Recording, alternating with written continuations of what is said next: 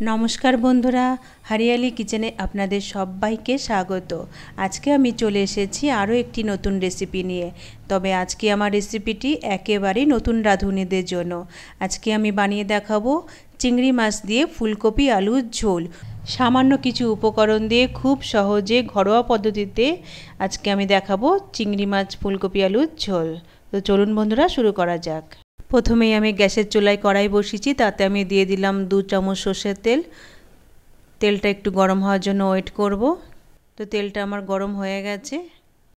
এখানে আমি আলু আর ফুলকপিগুলো বড় বড় করে কেটে নিয়েছি, ঠিক এরকম সাইজ করে। এগুলো আমি তেলে দিয়ে দেব। ফুলকপি আলুগুলো আমি তেলে তুলে দিলাম, এবার আমি একটু ভালো করে ভেজে নেব। যতক্ষণ না লাল হয়ে আসে ততক্ষণ আমি ভাজবো, তার আগে দেব একটু নুন আর হলুদ।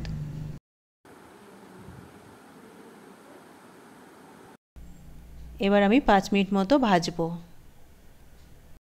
তো পাঁচ মিনিট ধরে ভাজার পরে আমার সবজিগুলো অনেকটা লাল হয়ে এসছে।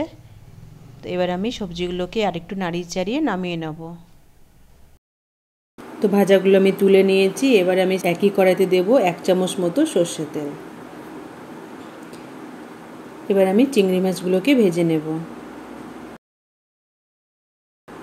একটু হলুদ দিলাম আর দিলাম সামান্য নুন। চিংড়ি মাছটাকে একটু ভালো করে লাল করে ভেজে নেব।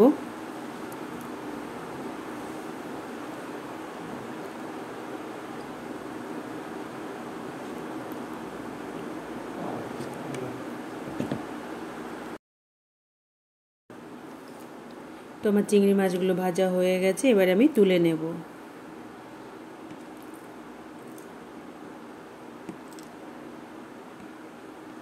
আবারও আমি কড়াইতে একটু সর্ষের তেল দিলাম, এক চামচ মতো। এবারে দিলাম সাদা জিরে। সঙ্গে দিলাম একটু জল। জলটা একটু বেশি করেই দেব। আমি এটা হালকা পাতলা ঝোল করব, তাই জলটা একটু বেশি দিলাম। এবার আমি জলটা ফোটা পর্যন্ত ওয়েট করব।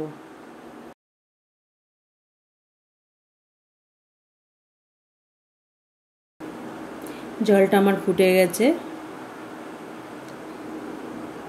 এবার আমি গুঁড়ো মশলা দেব। এখানে আমি ধনে জিরের গুঁড়ো রেখেছি এক চামচ, গোলমরিচ গুঁড়ো হাফ চামচ হাফ চামচ কাশ্মীরি চিলি পাউডার, হলুদ, ঝাল লঙ্কার গুঁড়ো আর নুন। এবার আমি এগুলো সব ঝোলের মধ্যে ঢেলে দেব। সঙ্গে দিলাম তিনটে কাঁচা লঙ্কা চেরা। কিছুক্ষণ একটু ফুটিয়ে নেব। এবারে দেব ভেজে রাখা সবজি আর চিংড়ি মাছ। একটু নাড়াচাড়া করে আমি দশ মিনিটের জন্য ঢেকে রাখব।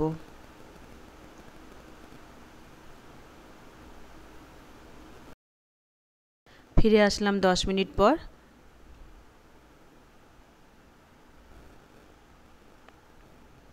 এবার একটু দেখে নেব।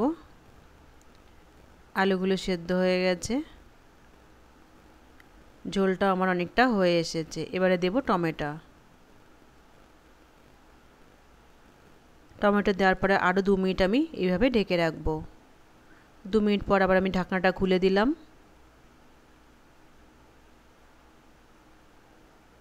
ঝোলটা আমার হয়ে এসেছে। একটু নাড়িয়ে চাড়িয়ে নেব।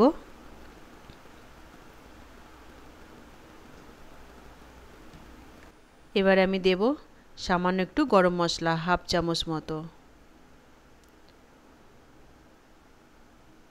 তো আমার চিংড়ি মাছ, ফুলকপি, আলুর ঝোল কমপ্লিট এবার আমি নামিয়ে নেব।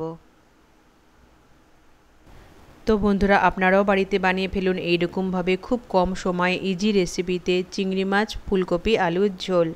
আমার ভিডিওটি ভালো লাগলে অবশ্যই লাইকস কমেন্টস আর শেয়ার করবেন। যারা আমার চ্যানেলের নতুন দর্শক, তারা অবশ্যই আমার চ্যানেলটিকে সাবস্ক্রাইব করে রাখবেন। তাহলে আমি যখনই কোনো নতুন ভিডিও আপলোড করব, সবার আগে আপনার কাছে পৌঁছে যাবে। ভালো থাকবেন, সুস্থ থাকবেন। আবারও আমি আসব নতুন কোনো ভিডিও নিয়ে, নতুন কোনো রেসিপির সাথে।